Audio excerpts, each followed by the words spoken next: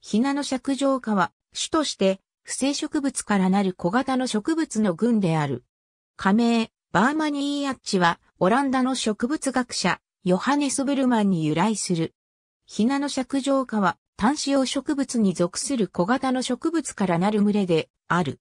ほとんどは緑の葉を持たずに地下で菌類から栄養を得る不生植物であり、地表にわずかに姿を見せるものである。多くは地表に一本の茎を伸ばしてその頂に花をつける。花弁は下部が融合し、先端は3か6列。おしべは花弁に融合。種子は小さく、数がとても多い。葉緑素を持つ種は、ロゼット状の小さな葉をつける。世界の熱帯に分布し、一部が温帯域にも広がる。森林化湿地に生える。約20属130種ほどがある。日本には3属8種が知られる。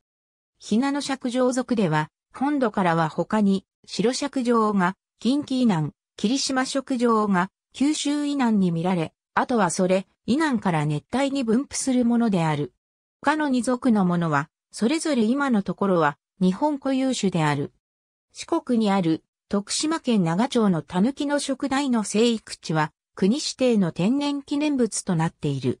いずれも森林の落ち葉の間からわずかに顔を見せる小型の植物で光合成を全く行わず全体に白っぽい。日本産の中では緑尺状だけが例外的な存在で湿った草地に出て高さ20センチメートルにも達する総本で、緑の根質用と形容を持つ。西表島に産し、インドシナ、マレーシアなどまで分布する。ひなの尺状化バーマニーアッチ。ありがとうございます。